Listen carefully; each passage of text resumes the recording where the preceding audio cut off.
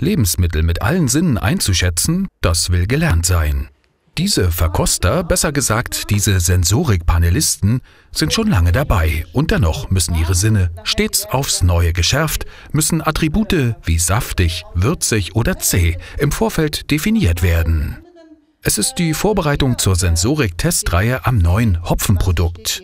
Fleischwaren, die durch Zugabe von Hopfenextrakt länger haltbar sein sollen und neue Geschmacksnuancen entwickeln. Hop Halt heißt das Kürzel für dieses Verbundforschungsprojekt, das aus Mitteln des Europäischen Fonds für regionale Entwicklung gefördert wurde. Wir sind bei der Halbzeit. Wir haben gerade den Halbzeitbericht erfolgreich abgegeben und wir sehen, dass äh, das Projekt hervorragend vorangeht.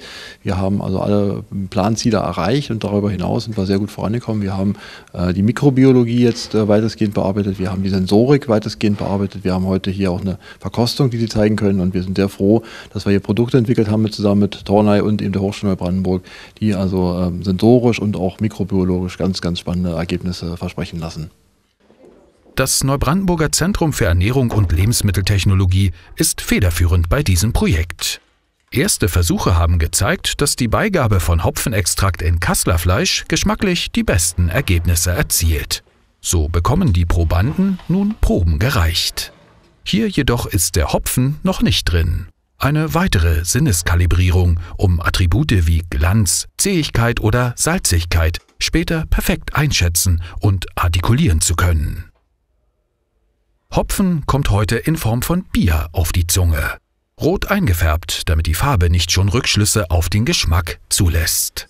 Fünf Biere oder Bierlimonadenmischungen werden gereicht. Nun sollen sich die Probanden nach unterschiedlich starken Eindrücken sortieren und ihre Ergebnisse im Computerprogramm protokollieren.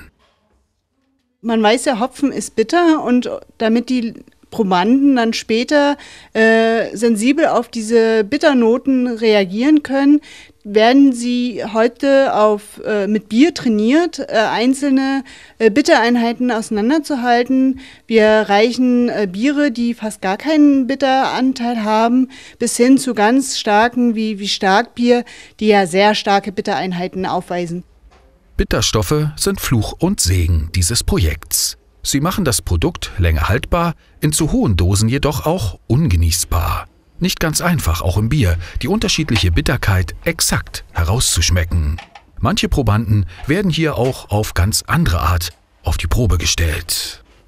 So schwer ist das nicht, aber es ist eklig, weil ich kein Bier trinke. aber sonst äh, ist es nicht schwer. In den kommenden Sensoriktests kann dann auf das Bier verzichtet und sich ganz dem Kassler gewidmet werden. Im Test Kassler mit und ohne Hopfen sowie Hopfenkassler unterschiedlicher Reifegrade.